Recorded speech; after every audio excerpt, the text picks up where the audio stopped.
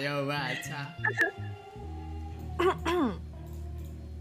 Aku pernah menjadi pelangi untuk kamu yang buta warna.